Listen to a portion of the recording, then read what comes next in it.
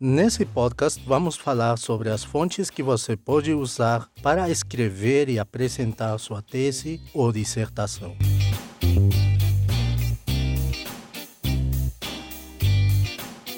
Olá a todos, sejam bem-vindos ao nosso primeiro agro-podcast.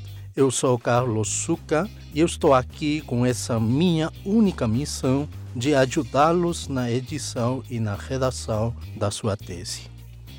Tenho a pretensão, se vocês me permitirem, de acompanhá-los nessa tarefa que, na conclusão, lhes trará a maior satisfação na sua futura vida profissional. É por isso que eu peço se inscrevam no meu canal e cliquem no sininho para que duas quintas ao mês recebam um agropodcast com o melhor conteúdo sobre o assunto.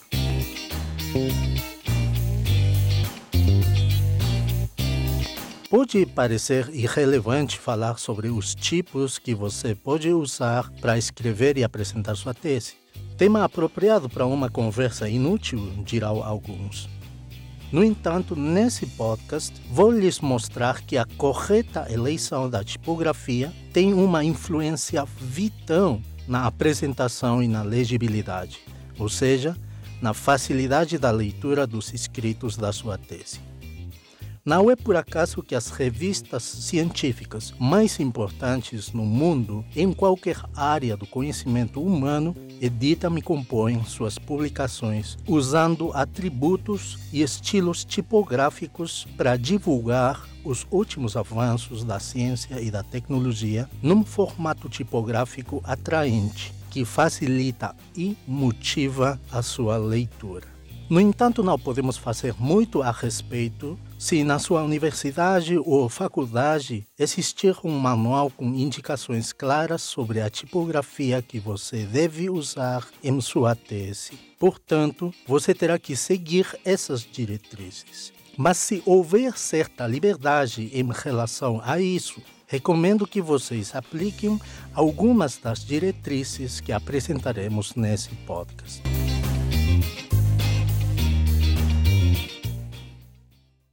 Para começar, existem várias famílias de fontes que podem ser usadas nas áreas da comunicação escrita, desde a comunicação formal de edição de livros até a linguagem comercial. Obviamente, falaremos aqui sobre aquelas fontes que facilitam a divulgação de informações acadêmico-científicas e que auxiliam na edição dos textos correspondentes. Duas dessas categorias tipográficas são conhecidas como fontes com serifas e fontes sem serifas.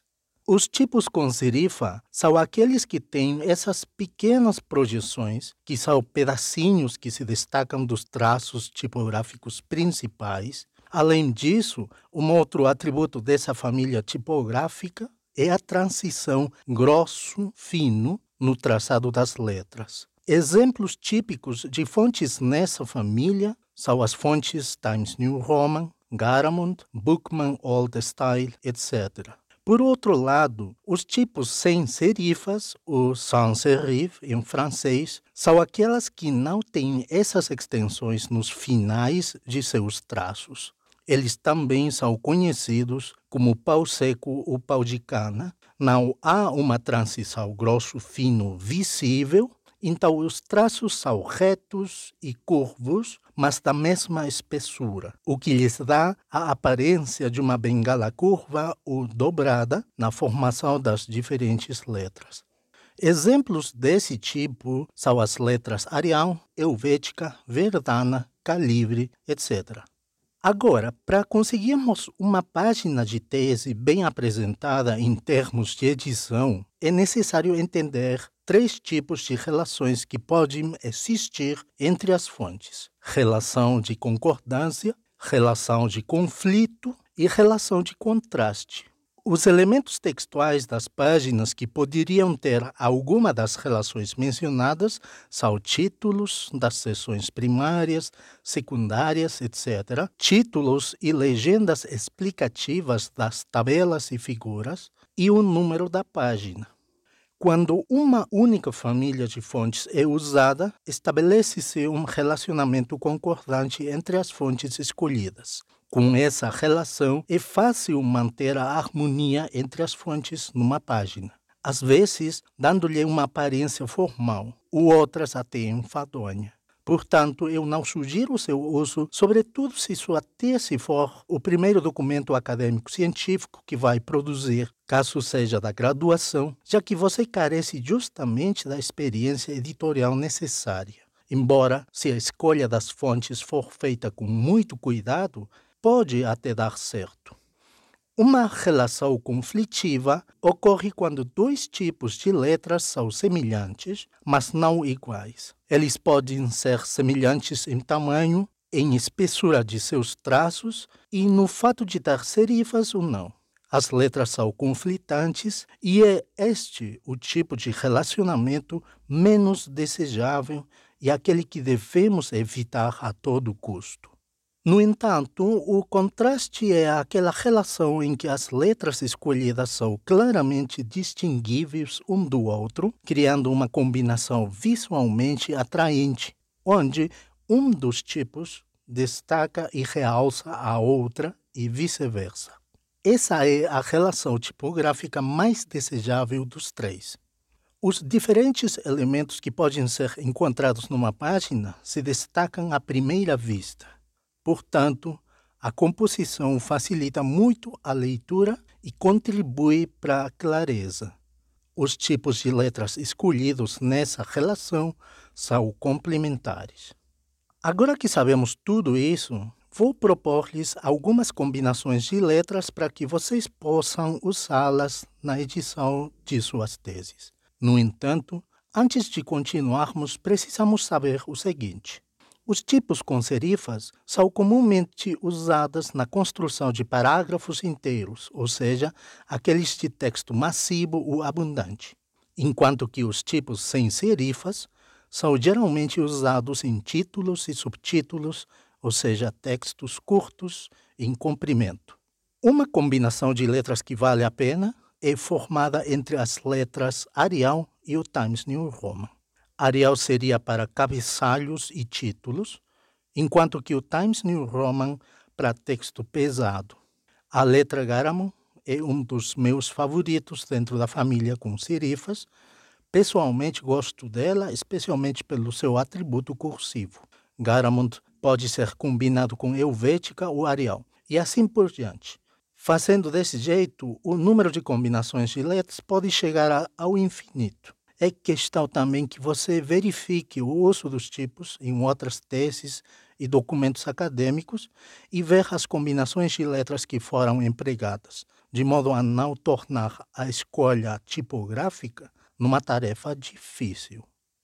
Se você optar por uma relação concordante, ou seja, duas fontes pertencentes à mesma família de fontes, sugiro que faça a escolha de duas fontes muito contrastantes.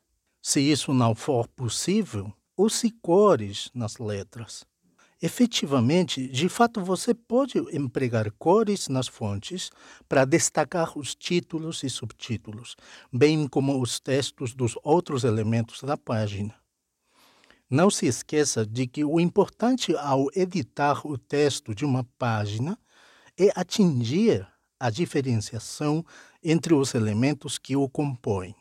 Agora, com isso, eu não estou sugerindo que sua tese se pareça a um boletim informativo, infográfico, o catálogo comercial, no qual predomina o uso de tipografia colorida, composição mais elaborada e uma apresentação atraente aos olhos, já que, por exemplo, o catálogo deve vender e causar impressão.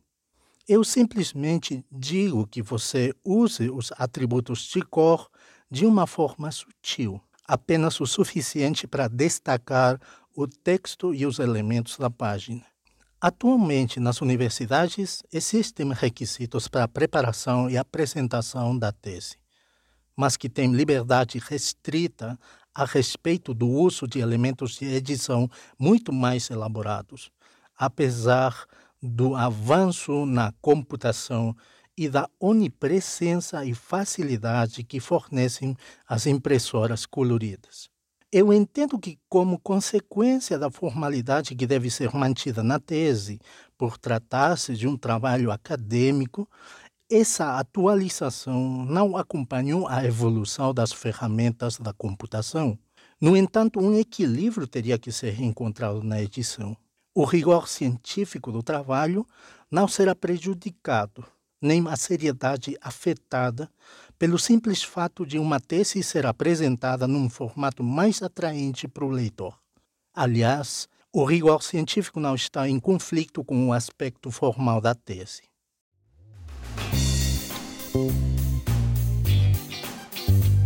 A título de reiteração, sugiro evitar o uso de dois tipos de letras da mesma classificação ou família de fontes.